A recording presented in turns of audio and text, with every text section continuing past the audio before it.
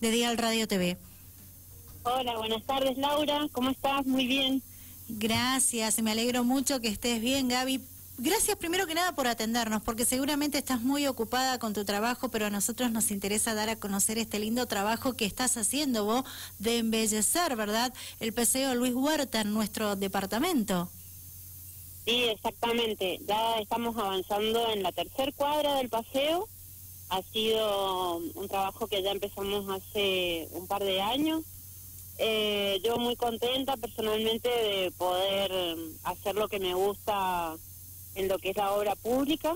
Así que muy feliz, ya concluimos la tercera cuadra de esta semana y estamos empezando con la otra la próxima semana. Bien, ¿cuánto hace que ejerces esta profesión, eh, que, llevas adelante? Y van a ser cinco años ya. Cinco años, bien. ¿Y cuántos otros lugares te ha tocado embellecer también, aparte de, del Paseo Luis Huerta? Bueno, eh, la obra más grande que hice fue la, el monumento de la, de la plaza de la Villa 25 de Mayo, la Plaza Centenario. Bien, genial. ¿Me escuchás? Sí, te escucho perfecto. ¿Vos? Ah, bien, yo muy mal, pero si vos me escuchás, genial. Sí, y está saliendo muy clarito, quédate tranquila. Bueno, de 10. Bueno, en la Plaza de la Villa, ahí hice mi, mi primera obra de mosaicismo en donde están representadas las cuatro estaciones, no sé si has tenido oportunidad de verlas. Sí, sí. Eh, y arriba está compartido este monumento con Eliana Bouyer, que es escultora. Ella hizo las esculturas en metal que están arriba.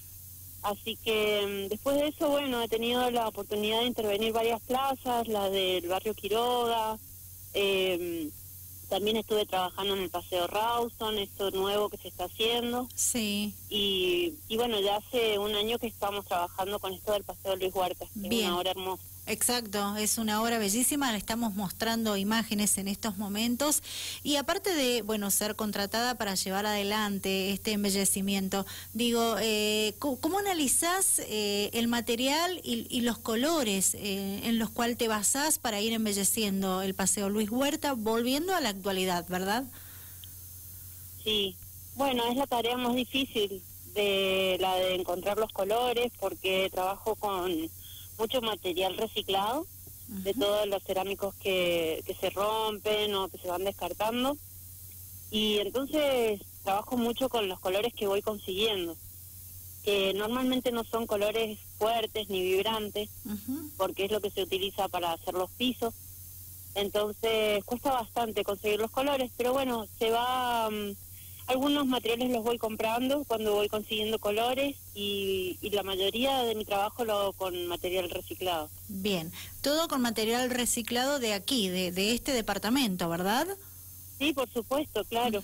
Bien, perfecto. ¿Y qué tiempo te demanda llevar adelante todo ese proceso para poder sentarte cómodamente, tranquila, a realizar tu trabajo? Eh, perdón, ¿cuál es la pregunta? ¿Cuánto tiempo? Eh, claro, ¿qué te demanda poder eh, recolectar todo ese material que estabas haciendo mención para luego poder realizar tu trabajo de una forma cómoda y tranquila? Sí, primero sí hago una, bueno, yo tengo un, pequeño depósito de materiales acá en mi casa, en donde voy juntando siempre, siempre atenta de obras en demolición, de por la calle hay un montón de cerámicos rotos, así que voy juntando y cuando hay una obra como esta, por ejemplo, sí se, separa el material con el que contás y de ahí podés empezar un proyecto en base a los colores que tenés. Perfecto. Eh, ¿Trabajás sola, verdad?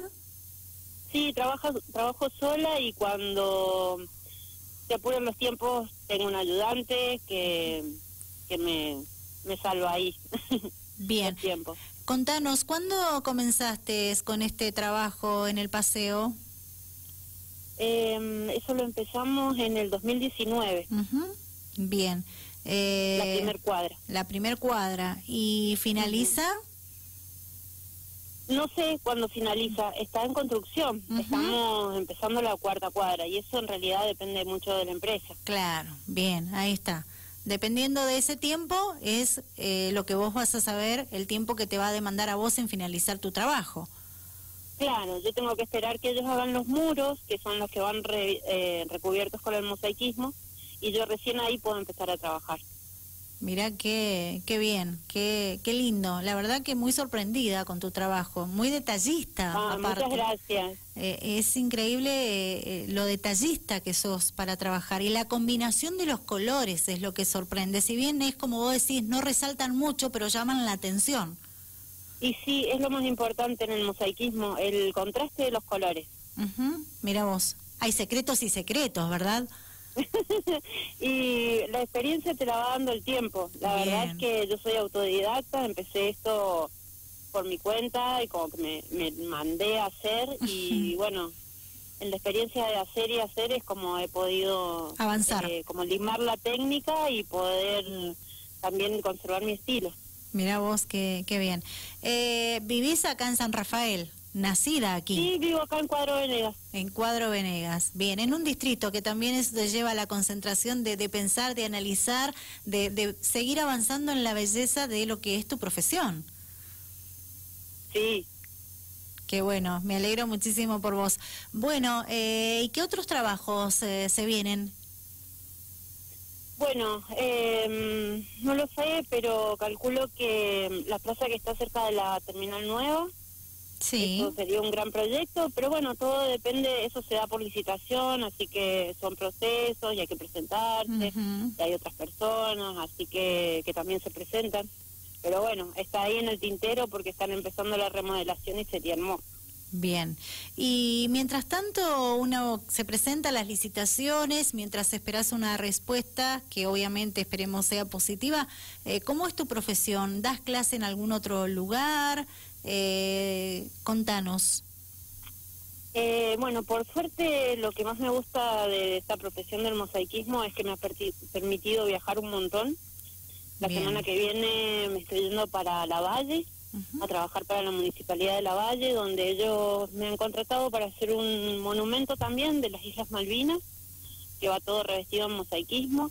Y también voy a dar un taller, eh, doy talleres ya hace un par de años Bien. Y eso también es una experiencia hermosa, la de compartir, doy talleres para niños, para adultos. Así que es una, es una técnica que es muy, muy para todas las personas, que cualquier persona lo puede hacer, sin ningún conocimiento previo ni nada. Te digo que le he dado talleres hasta niños de cuatro años y son unos mosaicistas increíble. Mira qué bueno, eso te iba a consultar cuando decías eh, no importa la edad y a partir de qué edad, y bueno, vos estás aclarando esa duda, de los cuatro años que has tenido alumnos. Sí, increíble. Es lo que pasa es que es como muy didáctico y aporta mucho para la resolución de problemas, la concentración. Es como muy lúdico también. Mira vos, qué bien, qué lindo, qué bueno eso. Sí, es muy hermoso hacerlo también. Bien, ¿y dónde dictas tus clases presenciales? ¿Vas a cierto lugar físico que se te habilita? ¿Lo das en, tu casa? ¿Tenés un espacio físico vos especialmente para esto? He dado, sí, he dado talleres en distintos lugares. Hemos hecho talleres abiertos en los clubes, em, en comunidades, en los barrios, con grupos de mujeres. Eh, estuvimos estuve dando talleres para los niños en las vacaciones de invierno, eso fue ya hace un par de años, antes de la pandemia. Y ahora con la pandemia eh, he estado haciendo grupos muy reducidos de tres o cuatro personas eh, y voy a domicilio. Bien. Entonces, nada, uno se las va ingeniando. Qué bien, bien, me alegro muchísimo. Y van apareciendo. Sí, seguramente. Bueno, y quienes estén interesados en aprender, ¿cómo te ubican? Y me pueden ubicar a través de, mi Facebook, que es Gabriela Cosentino, ahí pueden ver mis trabajos y también me pueden escribir por si tienen la inquietud de aprender. Buenísimo, genial. ¿Cómo en tus redes sociales? Facebook, nada más. Sí. Bien. Eh, ¿Cómo? En Facebook, ¿me dijiste? Sí, Facebook. Bien, perfecto. Eh, bueno, Gabriela, te agradezco, se nos termina el tiempo. Eh, te agradezco. No, le agradezco yo un montón por estos minutos de charla. Muy linda tu obra en el Paseo Luis Huerta. Eh, ya vamos a estar en contacto contigo para que nos pases imágenes de otros trabajos que has tenido la posibilidad de realizar y que nos has estado contando. Así que que sigan los éxitos. Que tengas buenas tardes. Muchísimas gracias. Muchas gracias por contactarme y que tengan una hermosa tarde. Igualmente para vos. Hasta pronto. Gracias, hasta pronto. Gabriela Consentino, eh, mosaiquista del Paseo Luis Huerta, imagen que estamos mostrando a todos ustedes a través de esta charla, a través de Dial Radio TV, que tienen la posibilidad de vernos y que después van a encontrar esta nota en nuestras redes sociales. Un trabajo impresionante, muy lindo, muy detallista. Ella nos contó la historia.